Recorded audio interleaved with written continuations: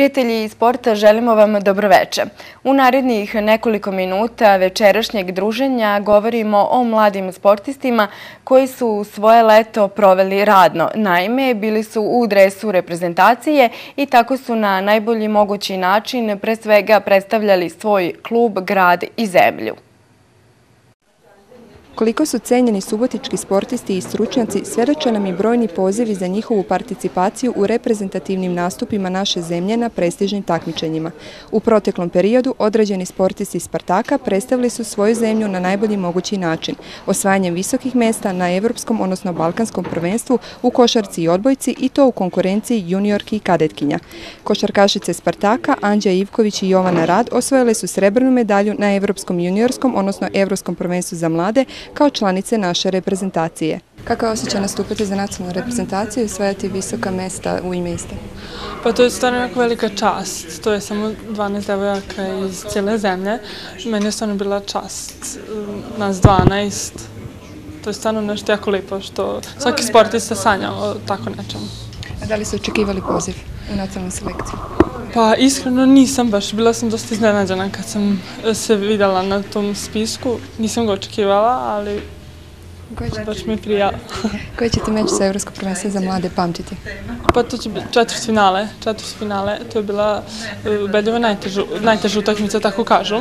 Da je četvrt finale najteža utakmica. Ću to pamtiti, to mi je onako nekako lepo ispomenio ostalo. Protiv kojeg protivnika? Protiv Portugala.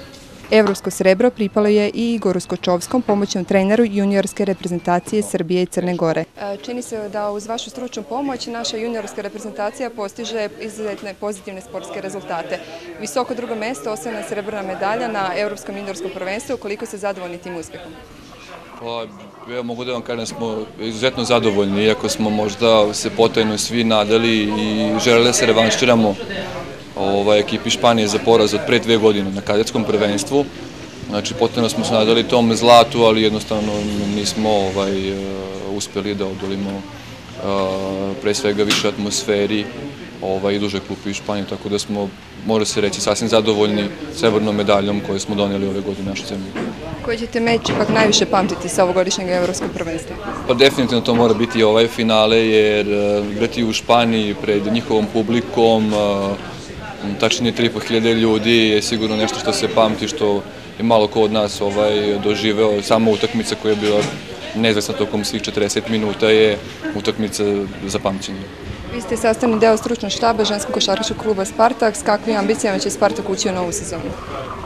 Pa ispravit ću vas, još uvek nisam ovaj sastavni deo znači, ŽKK Spartaka. Trenutno sam na odmoru i procesu dogovaranja oko ovaj, nastavka saradnje. Ja se iskreno nadam da ćemo uspeti ovaj, da se dogovorimo oko toga, a ako uspemo, a, ja ću biti verovatno u funkciji trenera juniorske ekipe Spartaka, odakle pretpostavljam da mogu da dam svoj najveći doprinos. Zlatnu medalju na Balkanijadi kao članice kadetske nacionalne selekcije osvojile su Orozović Sanja i Ajduković Tijana, također takmičarke ženskog košarkaškog kluba Spartak. Čestitam na osvojene zlata medalje. Kakve nam impresije donosite sa Balkanijade? Hvala. Na Balkanijadi bilo nam je dobro, osvojili smo zlatnu medalju, kao što znate. Bili smo favoriti u cijelom takmičenju i Meč za pamćenje sa tog prvenstva?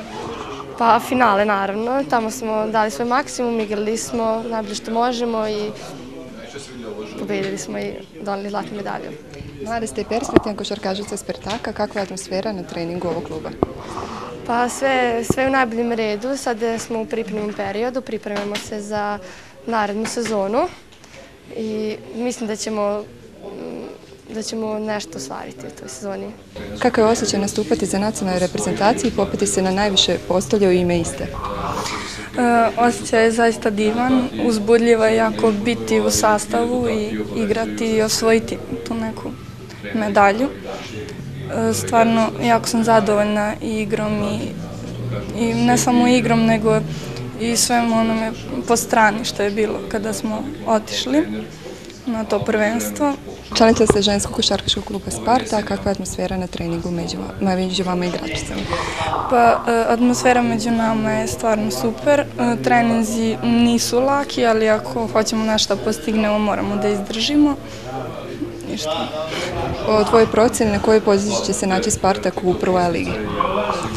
Pa očekujem da budemo među prvih pet. Vrsna odbojkašica Spartaka Sonja Klisura osvojila je zajedno sa juniorskom odbojkaškom reprezentacijom Srbije i Crne Gore također zlatu medalju na Balkanijadi, a u njeno ime plaketu u trofejnoj sali primio je Ljubiša Lekin, predsjednik ženskog odbojkaškog kluba Spartak.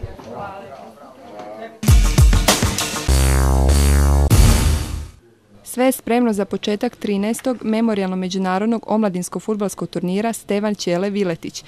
Želja nam je da ovaj turnir zbilja u ovim nekim, da kažemo, novim uslovima sa novim reprezentacijama, tradicionalni 13. prođe što bolje i što organizovanije, u što ja ne sumnjam, s obzirom da je na Paliću već 13. godina. Sad sve znamo manje više kad ko dolazi, koja ekipa dolazi, ne znam, ranije, koja će kasnije i ko će gde biti smešta. Na turniru su učešće potvrdile omladinske reprezentacije Srbije, Mađarske, Ukrajine i Izraela. Turnir počinje u nedelju 10. a završava se 15. septembra. U nedelju se očekuje dolazak većeg dela ekipa, a u ponedeljak su na programu utakmice između Srbije i Ukrajine na stadionu Spartaka u 14 časova, zatim svečano otvaranje turnira i utakmica između Mađarske i Izraela. U subotu i nedjelju sa početkom u 9 časova na igralištu Bačke 1901 održat će se tradicionalni međunarodni memorialni futbalski turnir Ladislav Varga za mlađe kategorije uz učešće 28 ekipa iz Srbije, Mađarske i Hrvatske. U utakmici šesto kola prve lige Telekom Srbije futbaleri Spartaka odmerit će snagu sa veoma jakim protivnikom Dinamom iz Vranja.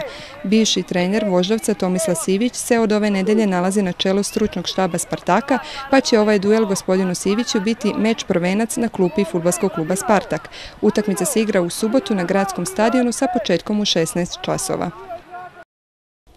U subotu u 11 časova u hali sportova održat će se 21. kup Subotice, međunarodno pozivno takmičenje u dizanju tegova uz učešće ekipa iz Mađarske, Slovenije, Bosne i Hercegovine i Srbije. Ekipe su podeljene u dve grupe. Prva grupa će otvoriti takmičenje u 11, a druga grupa u 13 časova. Proglašenje pobednika će se održati u 15 časova. Valja napomenuti da naslov prošlogodišnje pobednika brani Nađ Silvester, član kluba dizača tegova Spartak.